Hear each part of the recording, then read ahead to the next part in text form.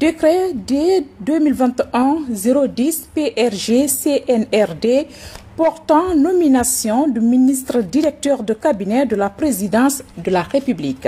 Le président de la transition, vu la charte de la transition, vu la loi L 2018-025 ans du 3 juillet 2018 portant organisation générale de l'administration publique, vu le communiqué numéro 01-2021 PRG CNRD du 5 septembre 2021 portant prise effective du pouvoir par les forces de défense et de sécurité, vu l'ordonnance numéro 2021-001 PRG CNRD SGG du 16 septembre portant prorogation des lois nationales, des conventions, traités et accords internationaux en vigueur.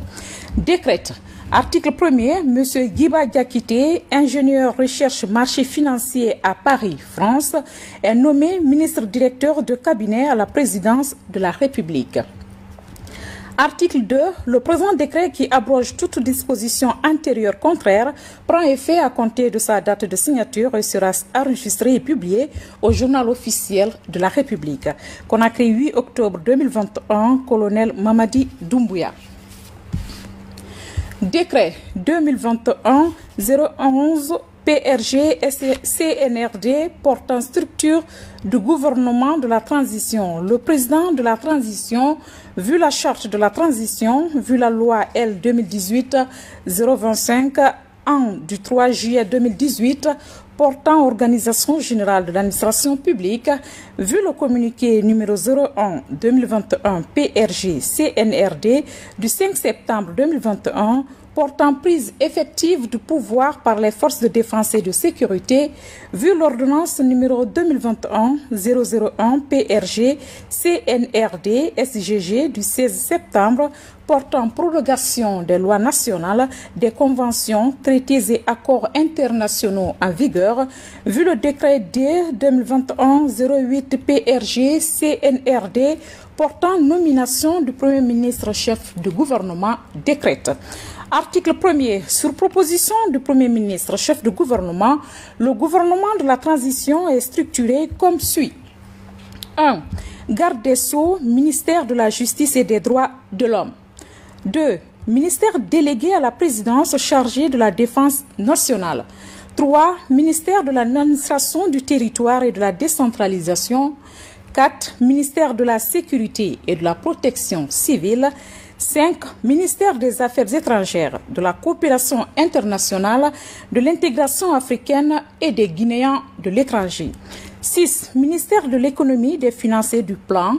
7. Ministère du budget. 8. Ministère du travail et de la fonction publique. 9. Ministère de l'environnement et du développement durable. 10. Ministère de l'agriculture et de l'élevage. 11. Ministère de l'énergie, de l'hydraulique et des hydrocarbures. 12. Ministère des mines et de la géologie. 13. Ministère des infrastructures et des transports. 14. Ministère des postes, des télécommunications et de l'économie numérique.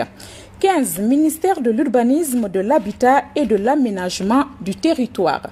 16. Ministère de la pêche et de l'économie maritime. 17 ministère du Commerce, de l'Industrie et des petites et moyennes entreprises. 18 ministère de l'Enseignement supérieur, de la Recherche scientifique et de l'Innovation. 19 ministère de l'Enseignement préuniversitaire et de l'Alphabétisation. 20 ministère de l'Enseignement technique et de la formation professionnelle. 21 ministère de la Santé et de l'Hygiène publique. 22 ministère de l'Information et de la Communication. 23, ministère de la Jeunesse et des Sports. 24, ministère de la Promotion féminine, de l'enfance et des personnes vulnérables. 25, ministère de la Culture, du Tourisme et de l'Artisanat. Un secrétariat général du gouvernement, un secrétariat général aux affaires religieuses. Article 2. Le présent décret qui abroge toute disposition antérieure contraire prend effet à compter de sa date de signature et sera enregistré et publié au journal officiel de la République, Conakry, 8 octobre 2021, colonel Mamadi Doumbouya. À présent, c'est communiqué du CNRD. Communiqué numéro 46. Suite à des concertations tenues entre le ministère des Transports, la Direction générale de la société russale CBK et le CNRD, le président du CNRD, président de la transition, chef de l'État, chef suprême des armées, informe la population de Conakry et ses environnants que le train transport public Conakry Express reprendra son service habituel à partir du lundi 11 octobre 2021. À cet effet, il est demandé à tous les acteurs concernés, gouverneurs, maires, présidents de conseils de quartier et les riverains de prendre toutes les dispositions nécessaires pour la libération des emprises ferroviaires. Fait à Conakry le 8 octobre 2021, le président du CNRD, président de la transition, chef de l'État, chef suprême des armées, colonel Mamadi Doumbouya. Communiqué numéro 47.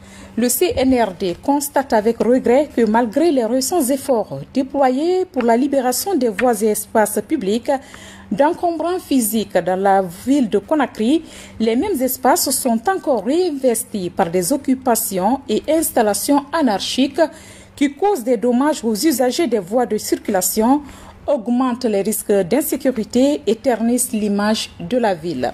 En conséquence, le CNRD invite les citoyennes et citoyens de la ville de Conakry d'éviter toute nouvelle installation sur ces espaces préalablement libérés et pour ceux qui sont déjà réinstallés, de libérer immédiatement les lieux.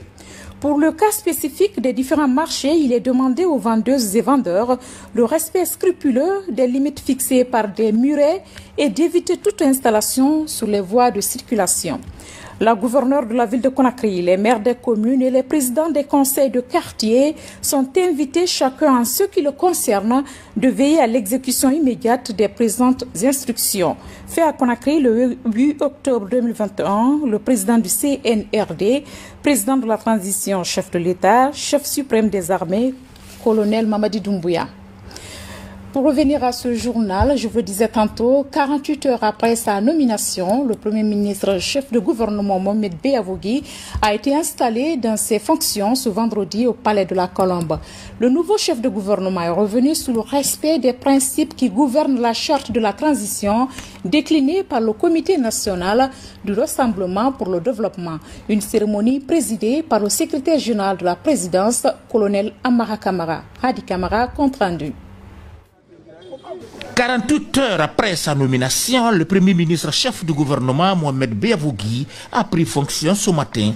Il a été installé dans ses fonctions par une délégation du CNRD, conduite par le ministre secrétaire général à la présidence, colonel Amara Kamara.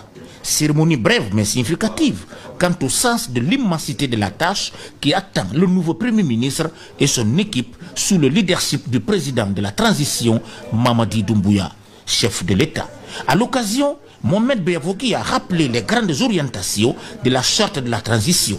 Il s'agit de la refondation de l'administration, la consolidation de l'unité nationale, la promotion de la justice et la création de conditions optimales pour l'organisation d'élections crédibles et transparentes.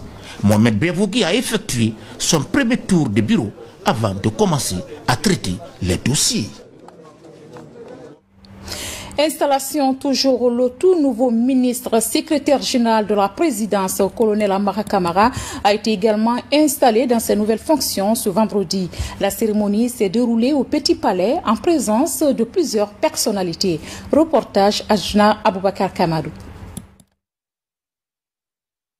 Deux jours après sa nomination par le président de la transition, chef de l'État, chef suprême des armées, le colonel Amara Kamara a été installé ce vendredi dans ses fonctions de ministre secrétaire général de la présidence de la République. Le jeune officier supérieur mesure la portée de la mission qui lui est assignée. Je voudrais ce jour spécialement rendre hommage et témoigner toute ma reconnaissance au colonel Mamadi Doumbouya, président de la transition, chef de l'État, chef suprême des armées, pour la confiance placée à ma modeste personne pour jouer ce rôle dans le gouvernement composé de fils et de filles de Guinée pour mener à bien cette mission de transition. La cause, elle est très noble. La mission, elle est exaltante. Moi, ma personne, ma détermination, elle est totale. Mais nous savons aussi que seul, on ne pourra pas. Nous voulons compter sur chacun, chacune, pour mener à bien les objectifs et les missions qui nous ont été assignés.